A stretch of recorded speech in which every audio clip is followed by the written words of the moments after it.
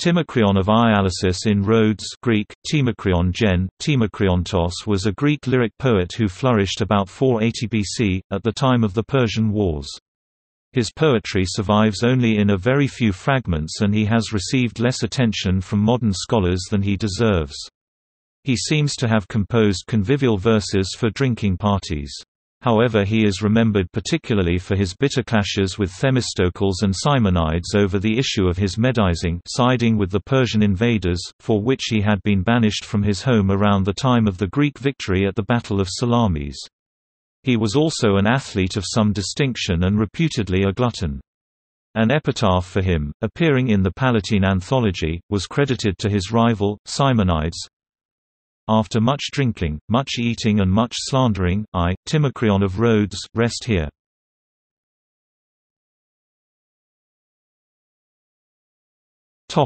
Life and poetry Plutarch is the main source of information about Timocreon's role as a Medizer and enemy of Themistocles Themistocles 21, while Herodotus supplies much of the background information Histories 8.111-12. According to these accounts, Themistocles, the hero of the Battle of Salamis, gave up the pursuit of the retreating Persians to extort money from Greek island states in the Aegean, without the knowledge of his fellow commanders.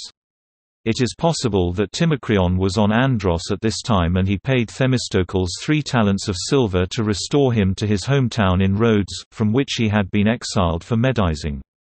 Themistocles took the money but reneged on the agreement and, even though bonds of hospitality between them required good faith, he accepted a bribe from someone else in a new deal that excluded Timocreon. Sailing away with the poet's money in his coffers but minus the poet himself, Themistocles soon arrived at the Corinthian Isthmus, where the Greek commanders met to decide who most deserved the prize for valor in their recent victory at Salamis.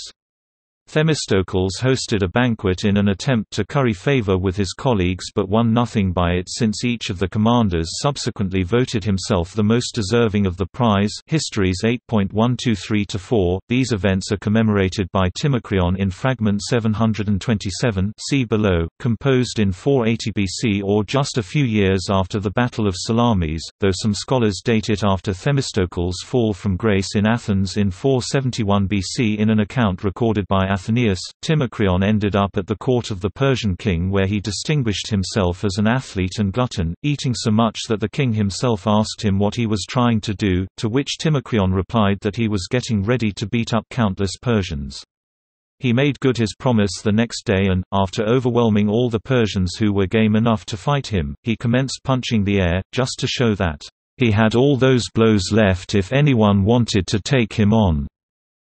However, the boorishness and gluttony of athletes was a topos of Greek comedy and even a hero like Hercules was the butt of many jokes. In some accounts, Themistocles also ended up visiting the Persian king, following his ostracism and spectacular fall from public favor in Athens. Rumors that he was medizing offered Timocreon a chance for revenge.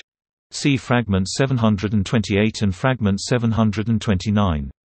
Timocreon was also known as a composer of scolia drinking songs and, according to the Suda, wrote plays in the style of old comedy. A famous drinking song of his was about the god Plutus, which seems to have inspired imitation by Aristophanes. See fragment 731. Nothing however is known of his comedies and it is probable that he was not a dramatist but simply composed mocking lyrics. In an account by Philodemus on Vices 10.4, he is presented as a conceited singer at a festival competition, where he performed a song about Castor. Diogenian mentions two proverbs that Timocreon employed in his verses. One was a Cyprian fable about doves escaping from a sacrificial fire only to fall into another fire later on demonstrating that wrong-doers eventually get their just deserts, and the other was a Carian fable about a fisherman who espies an octopus in the winter sea and wonders whether or not to dive after it, since this is a choice between his children starving or himself freezing to death i.e. you're damned if you do and damned if you don't. The latter proverb was also used by Simonides, whose rivalry with Timocreon seems to have inspired the abusive epitaph quoted earlier and the epigrammatic reply from the Rhodian poet in AP 13.31.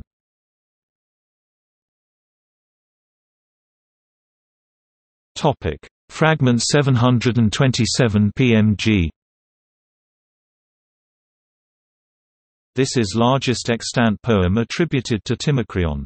It was quoted by Plutarch in a biography of Themistocles, as were the following two fragments, 728 and 729 see Life above for historical context. It begins like a hymn of praise or encomium for the Athenian hero, Aristides, but soon turns into a denunciation of Themistocles.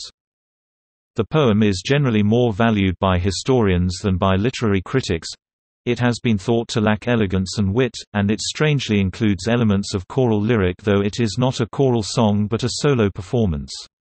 The choral elements are dactylo-epitrite meter and what seems to be triadic structure i.e. strophe, antistrophe, epode C. M. Bowra considered it, "...a strange and uncomfortable poem."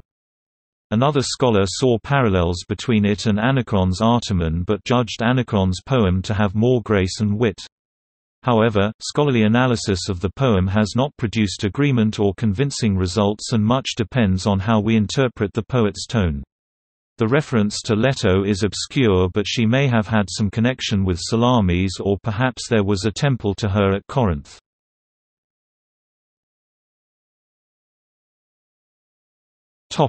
Fragment 728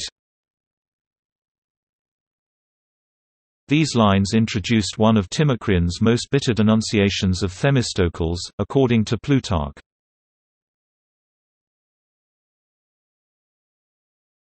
Topic: Fragment 729. The reference to a docked tail is usually understood to indicate some mishap the poet suffered. Plutarch identified Themistocles as one of the other scoundrels referred to in the poem.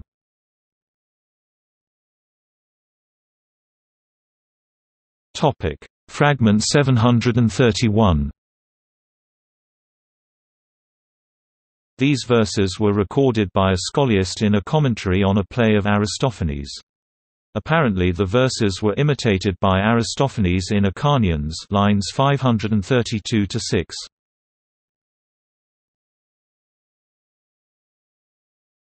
Topic: AP 13.31 The couplet is listed among the metrical curiosities of the Palatine Anthology its form is a hexameter followed by a trochaic tetrameter and it might be Timocreon's reply to Simonides' epitaph, as translated in the introduction of this article. Simonides was from Ceos. Notes